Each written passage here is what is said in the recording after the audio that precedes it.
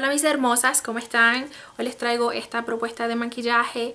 Eh, este look me parece hermoso para el día de San Valentín. Este video es en colaboración con otras chicas de YouTube. Quiero darle las gracias a Tabata por la invitación. Un besote bella. Espero que les encante y la dejo con el video. Chao.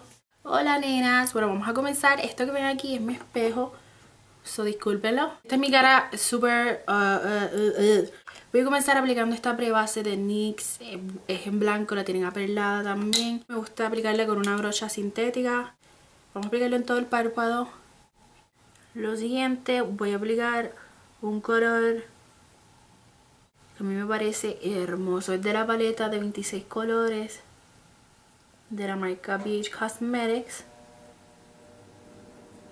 Este color, entonces lo estamos aplicando con una brocha para difuminar en toda la cuenca y un poquito arriba de la cuenca.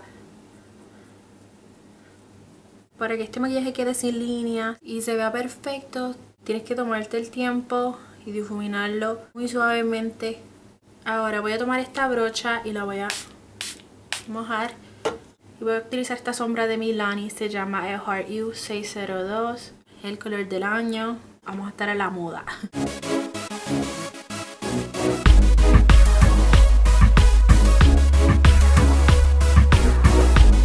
por ahora tenemos algo así.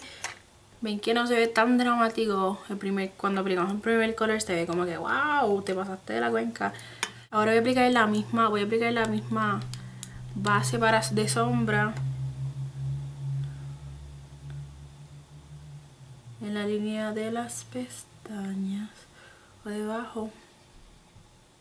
Oh, y voy a aplicar este mismo color bueno, lo que hice fue aplicar este color, este colorcito con un pincel. ¿Ok? Súper fácil. Y con otro pincel voy a tomar el mismo color, con el mismo color duraznito que utilizamos en la cuenca.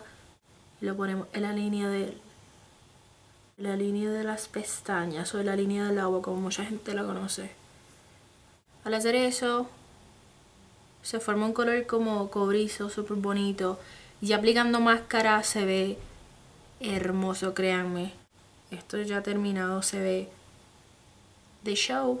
En el huesito de la ceja apliqué este color que lo utilizo todo el tiempo. Grid Carmenize es este, como ven ya toqué fondo. Y lo aplico debajo del huesito de la ceja. De delineador, este me encanta, es súper negro, económico.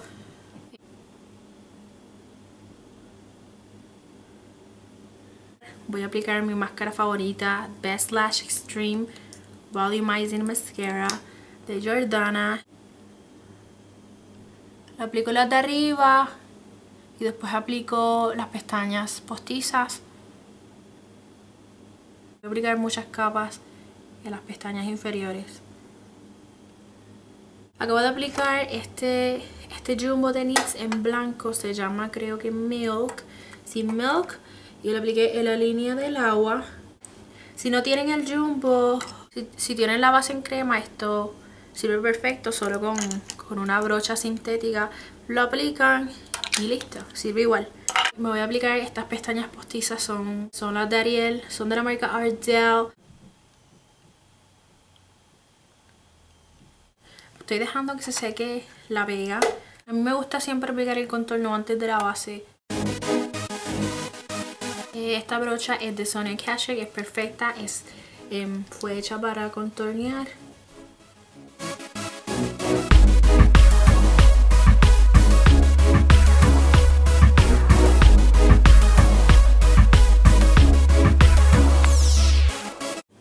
Esta es la base que voy a utilizar, es de Maybelline. Tiene una esponjita aquí, me encanta esto.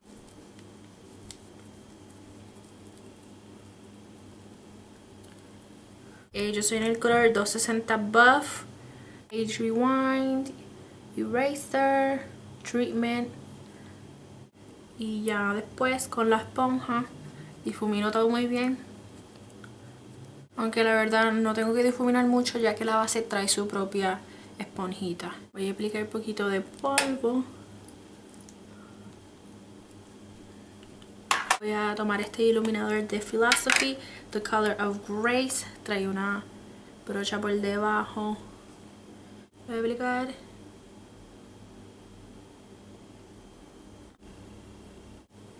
de blush, vamos a utilizar Cherry Cheeky Bugger de Kelly Osbourne by Kamac y, y vamos ese color que me deja las mejillas voy a tomar estas perlitas que son de Physicians Formula Pearls of Perfection. Es un bronzer. Esto viene así. Y lo que hago es con la misma brocha que utilicé para el contorno la utilizo debajo. Muy sutil. Casi nada. Traten de no mezclar. Si quieren hacer esto traten de no mezclar el rubber con el bronzer. Por aquí arriba me gusta iluminarlo con esta paleta de NYC me encanta utilizarlo oh I love it hace, que todo se vea glowy. Chicas, no olviden aplicar máscara de pestañas después de aplicarse eh, las pestañas postizas. Otra cosita que pueden hacer es cuando se note mucho la pega o siente que no seca o se pasaron, apliquen delineador negro. Y por último, en el, en el lagrimal de la Chocolate Bar utilicé este color. Ya por último los labios, mi primera opción es el Lip Glass de MAC en Peach Dog y el labial Peach Dog es lo que traigo en los labios. Esta es la primera opción con este labial super nude. Em,